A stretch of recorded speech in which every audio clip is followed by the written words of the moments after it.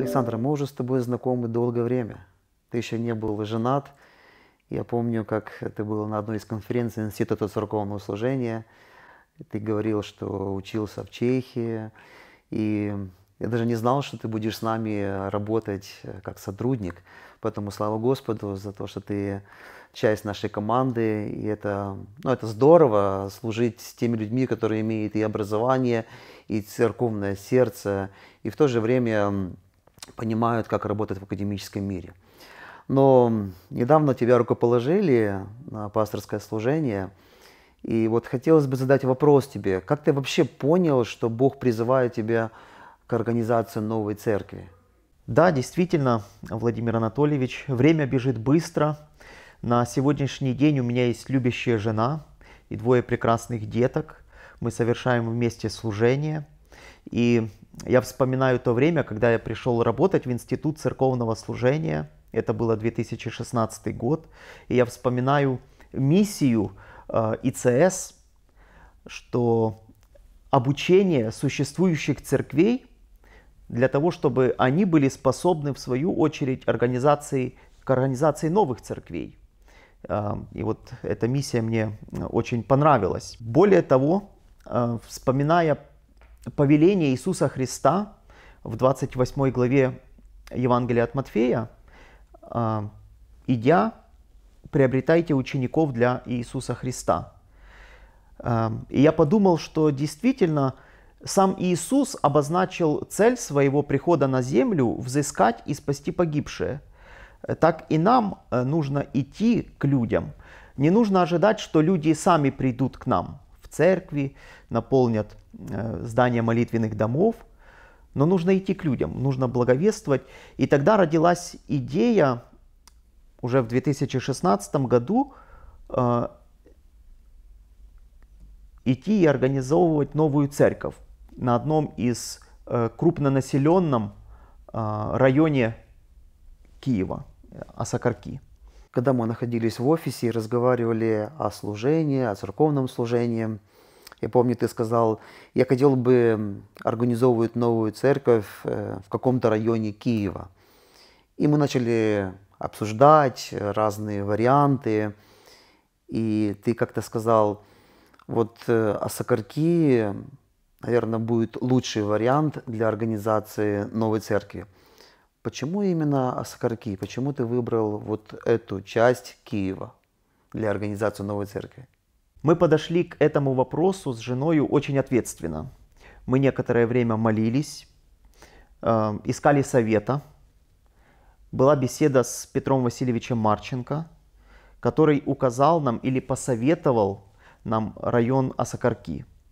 Это район, который крупнонаселенный. На нем проживает свыше 40 тысяч человек. Это район, в котором на то время не было фактически ни одной евангельской церкви. И размышляя с женою, молясь, общаясь с братьями, с вами, мы пришли к выводу, что нужно идти и действовать. Нужно достигать людей для Христа в том районе, искать возможности организации новой церкви именно там, на Осокорках. Конечно, у нас есть личная решение организовывать новую церковь, не без этого, чтобы семья была частью этого движения. Мы советовались. Но все-таки, наверное, любой проект, особенно в организации церкви, необходимо привлечь команду. Как вообще происходил процесс выбора этих людей? Как вообще Бог вел тебя в этом направлении? Бог удивительным образом формировал команду по организации новой церкви там, на Сокарках. Две семьи откликнулись из Церкви Преображения присоединиться к этому видению, э, к ОНЦ э, на Сокарках. Это семья Юрия Васильевича Мороза и Николая Гашовского. Э, также удивительно было то, как я, возможно, даже и не искал людей, но Бог прилагал единомышленников к этому процессу. Да, я помню, как мы с Димой Котик общались в кафе о разных вопросах, связанных со служением. И как-то он задал вопрос, а есть ли кто-то вот в этом районе, кто начал организовывать новую церковь или планирует организовывать новую церковь. Я говорю, наш сотрудник Александр, он как раз сейчас формирует команду, может быть, ты бы обратился бы к нему, пообщался, посоветовался бы, может быть, присоединился к команде. Я думаю, какой-то разговор был, да? Да, мы встретились, он нашел меня, мы пообщались, с семьями встретились, у нас была хорошая беседа. Это люди действительно посвящены э, вот этой идее организации новой э, церкви. То есть смотри, мы И не, не ищем их, да, а Они Бог, Он сам присоединяет к нашей команде. Но это вот э, Точно так. И то, это что является божественным промыслом в служении для расширения Его Царства. Да, да. Когда люди присоединяются к Божьему делу, то, конечно же, есть результат. И когда люди вовлекаются активно к тому, чтобы созидать новую церковь, то Бог будет работать. И вот э, немного прошло времени, да, около двух лет, но уже, наверное, ты можешь сделать какой-то анализ, что вообще Бог делал, сделал в служении по организации новой церкви. Ну, во-первых, я хочу поблагодарить Бога за ту посвященную команду, которую Бог послал нам, с которой мы за эти два года сделали достаточно много. Э, Регулярно э, проводятся малые группы э, по изучению Библии. У нас и летом, и зимою мы проводим большие евангелизационные мероприятия с привлечением кукольных э, спектаклей, а также больших э, летних семейных фестивалей.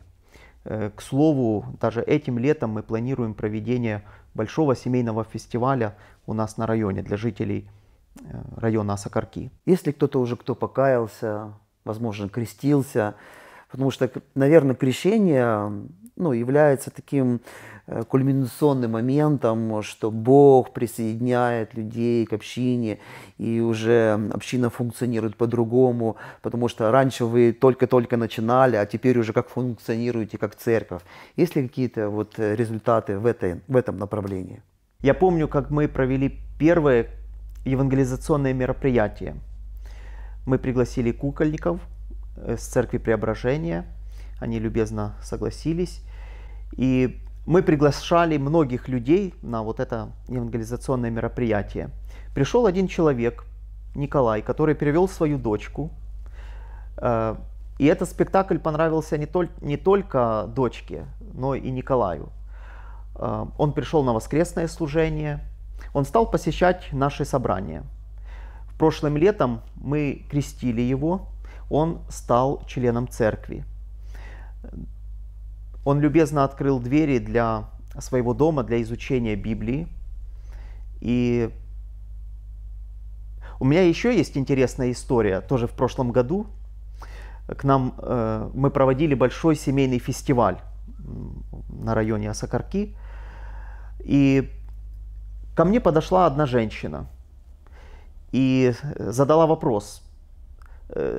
Скажите, пожалуйста, вот вы делаете вот это мероприятие для деток нашего района, а скажите, пожалуйста, по всему видно, что вы христиане. Вы случайно не баптисты? И как ответить на данный вопрос? Скажешь, э, баптисты, может быть, у нее плохое э, воспоминание с баптистами.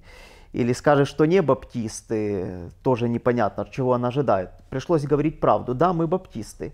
На что она была э, очень удивлена и благодарна Богу. Она говорит, я много знала о, о Боге, о Иисусе Христе, ее зовут Эка, и она сама с Грузии.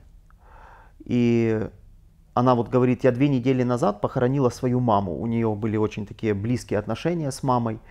И когда она была ну, маленькая, они ходили в Грузии, приезжали миссионеры, и они пришли в церковь. И мама и крестилась там, и сама Эка крестилась. Но прошло некоторое время, жизнь забурлила, и она оставила церковь. И вот э, случились, вот, э, случилось такое событие, э, маму похоронила, и она приехала, вот буквально неделю она вот в Киеве, и говорит, я для себя четко решила, я сейчас, он- она гуляла со своими двумя детьми, и четко для себя решил, а сейчас я приду домой и в поисковике, в интернете буду искать, где у нас тут ближайшая церковь на Осокорках. Именно баптистская церковь на Осокорках, потому что она знает, что баптисты это самая правильная деноминация. Но это ее между нами, это Ну, конечно, это, ну, два так скажем, что человек был в поиске. Был и в у поиске. было определенное впечатление, какую церковь она хочет Да, посещать. И вы были теми людьми, Да, которые Богом данные для нее. Поэтому слава Богу, то, что Бог таким способом порует эм, людей, порует церкви с людьми. И это благословение. Это самое большое Она вот благословение. гуляет, думая, что сейчас придет, будет искать церковь, и тут мы ей встречаемся и спрашивает, не вы ли баптисты? Мы оказались баптистами. И теперь И она, да, ходит она в с нами. церковь. Это Божье Да. благословение. И она пытается наладить отношения с Богом. Мы тут целый процесс, я не знаю. Ну, я с ней разговаривал, она говорит, просто я отошла как бы от Бога, она и с мужем развелась. Это, но надо будет как-то ее восстанавливать, наверное. Ну, слава общение, Богу. обща- общаться. То у нас, э, ну, такие случаи есть. Есть случаи, когда вот просто мы проводим воскресное служение, пришел человек и говорит, я вот увидел э, вывеску, ну вот баннер на улице. Я даже не знал, что здесь есть церковь, а оказывается есть. А мы ездим там за 3-9 земель до, до своего э, собрания. Ну, как ты сказал, что больше 40 тысяч человек, и все они грешники, и все они ищут выход из тех сложных ситуаций, в которых находятся. Поэтому благовестие, служение в городе – это то благословение, которое мы можем переживать. Поэтому слава Богу за ваше служение, за ту команду, которая посвященно служит. И это действительно здорово. И вот недавно, да, пару дней назад э, тебя рукоположили на пасторское служение. И вообще, как это ты понял, что именно пасторским служением ты хотел бы заниматься? Как вообще этот процесс происходил? Кто инициировал этот процесс? Можешь поделиться? Честно сказать, я не думал о рукоположении на пасторское служение.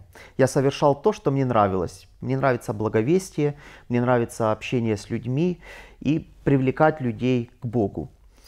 Э, Бывали случаи, когда ко мне обращались в церкви, в собрании, как э, пастырь, вы не могли бы нам помочь, Э, пастырь, вы не могли бы провести бракосочетание.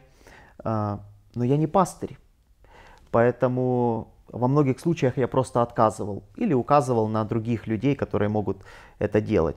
И я тогда стал думать, э, действительно, а почему бы э, не принять вот это служение, пасторское служение, и вести людей, и совершать вот все эти А священнодействия. кто инициировал? Кто инициировал процесс, что вот э, Саша должен быть рукоположенным пастырем?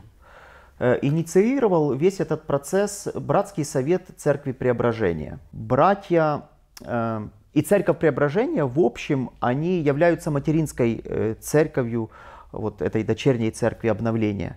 И поэтому они предложили молиться, они спросили мнение у церкви, и было единогласно решено, что нужно проводить вот это служение. Александр, спасибо за то, что ты поделился своим свидетельством, как Бог вел, как Он работал в твоей жизни. Теперь мы уже не соработники, как в одной организации, мы теперь уже сопастыри. Поэтому это здорово, то, что Бог эм, вел тебя, твою семью вот в этом направлении. Поэтому Боже тебе благословений Спасибо на этом большое. поприще. Потому что всегда для института было важно, чтобы работники были церковными людьми. Мы не просто воспитываем академиков, академиков, мы воспитываем людей, которые имеют сердце служителя, которые в церкви активно работают. Поэтому пусть Господь благословит тебя, твою семью и твое Спасибо служение. большое.